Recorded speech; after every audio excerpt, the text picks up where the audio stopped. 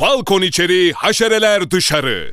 Ali Aslantaş. 5 yıldır kendi işimi yapıyorum. 15 yıldır da bu işi yapıyorum. Halk oyunları kostümü üretiyorum. Nakış makinelerimiz var. İzmir Yeşilyurt'tayız. 15 yıldır tekstil işindeyim. Bizim en büyük sorunlarından biri fare. Fare daha önce atölyelerimize çok zararlar veriyordu. Yani bunlar iş amacıyla, durma amacıyla, zarar amacıyla kumaşları yemesiyle büyük zararlar veriyordu.